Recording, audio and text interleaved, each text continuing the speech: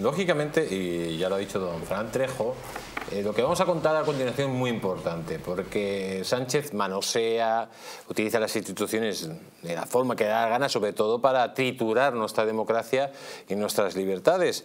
Miren lo que dice la siguiente noticia, dice la magistrada de Moncloa en el Tribunal Constitucional, atención, encargó un informe a Hot para admitir el recuento de los votos nulos de Madrid. Fíjense qué barbaridad.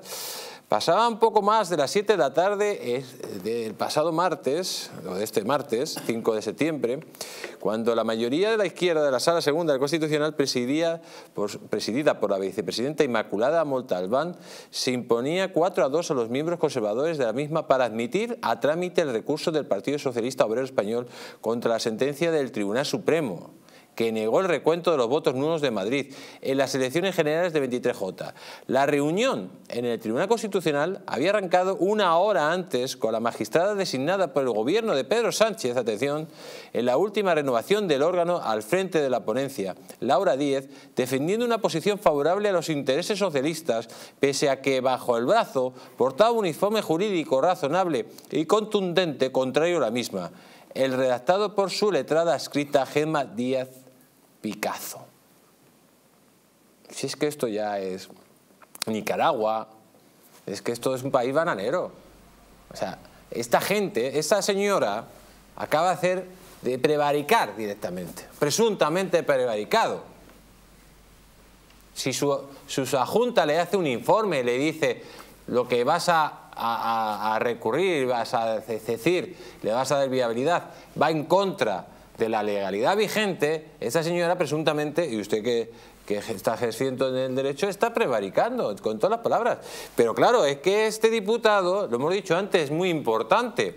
Porque si le quita a este diputado al Partido Popular, el Partido Popular se quedaría con 171, el Partido Socialista y el Bloque Basura se quedaría con 173, y ojo que si, si el PNV se estuviera, pues mm, le daría el gobierno, le gobernaría. Pero si no, se caería en 172, 172, no, no sería Felipe, eh, perdón, no sería Pedro Sánchez presidente del gobierno. Por lo tanto, esto puede ser decisivo. Y después del puchedo del 23J que hemos visto, para colmo, esta, una más que nos tenemos que tragar. Ese, diputado que hay en ciernes, es que la diferencia de votos son mil y pico votos, es decir, de mil ciento y pico, es decir, es que no, no, no, es una diferencia de tres votos, no lo es, es una diferencia de mil ciento y pico votos de madrileños, con lo cual es, es, eh, es un escaño perfectamente ganado. Pero es que fíjense ustedes, es decir, es que los votos nulos primero los revisa la mesa donde usted vota la mesa donde usted vota, llega allí y dice usted este es nulo, este no es nulo, este es válido, este no es válido. Luego los interventores pueden impugnar esa decisión de la mesa, pero la mesa de momento ya ha dicho que ese voto es nulo o no lo es. Esos votos nulos se guardan y se pasan en este caso la Junta Electoral Provincial, en Madrid, en este caso la provincial, que, lo, suelen llevar las audiencias. Ahora bien, se vuelve a recontar en la audiencia. Es decir, en la audiencia se vuelve a debatir si ese voto era nulo, si no lo era, si tal, y se llega a una consideración. Es es perfectamente válido. Muy bien.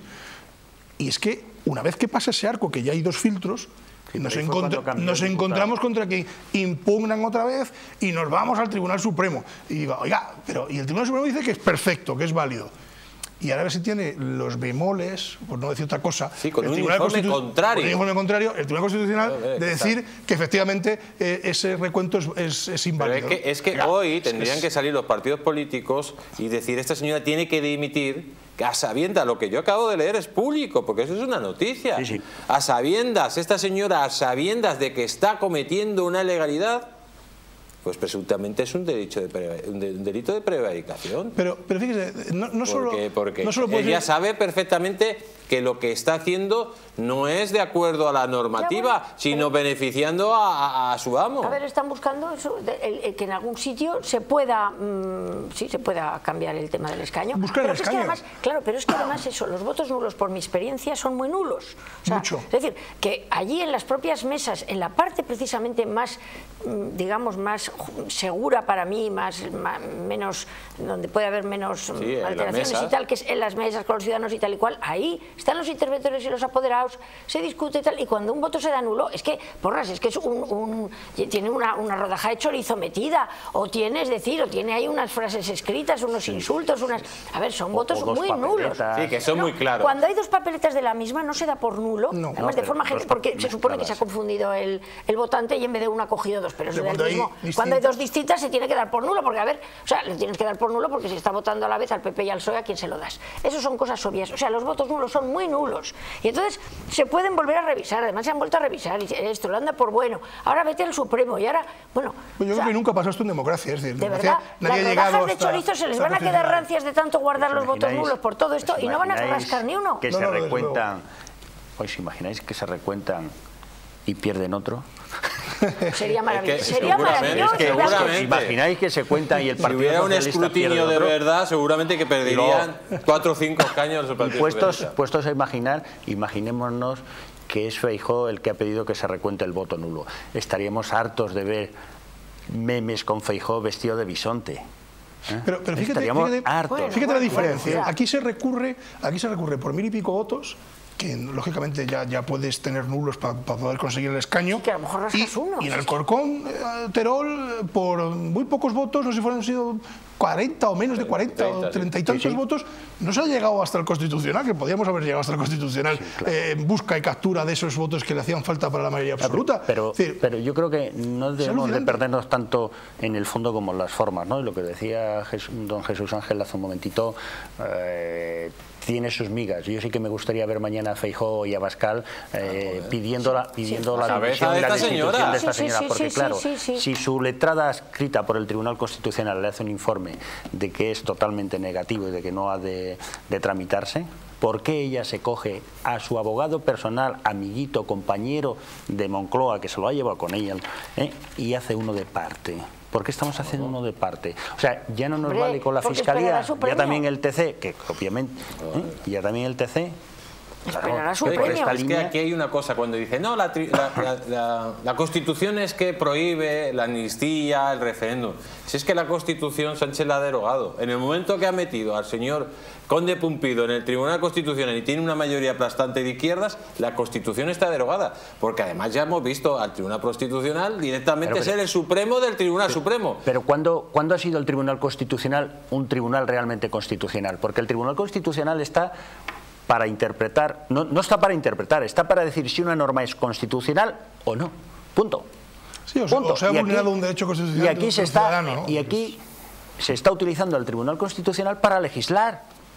Y no, fíjate, es un error muy grave. Fíjate, fíjate Paco, una cosa, lo que tarda un ciudadano en llegar al Constitucional y que le resuelvan un asunto en el Constitucional, que esto ocurre, lo que tarda un ciudadano, ¿eh? años, hablo de años. Sí, seis, ocho, eh, diez. Y aquí lo hemos tenido en diez minutos. Sea, en 10 minutos ya, digamos, perfecto, se admite a trámite eh, la impugnación de estos votos, en fin, se admite a trámite, pero en cuestión de minutos. Si vas a tener una, vas a tener una ley orgánica, una proposición de ley orgánica eh, con, un, con un gobierno en funciones, pero, pero es que es que muy fuerte lo que está ocurriendo aquí. Es que el gobierno en funciones está negociando el futuro gobierno de España, cuando quienes realmente negocian los gobiernos son los partidos políticos. Es que ya es una, ¿Cómo, ¿Cómo, se puede interpretar eso? Hay una, línea roja que, que, va a cruzar, yo estoy seguro de que va a cruzar este gobierno, que es eh, el, hacer o bien una ley de amnistía, como decía eh, Asís, eh, pues encubierta. encubierta, pero en definitiva sería eso, eh, siendo un gobierno en funciones, cuando sus funciones precisamente están limitadas. Bueno, pero ya lo hicieron, por ejemplo, con el tema de las lenguas en Europa.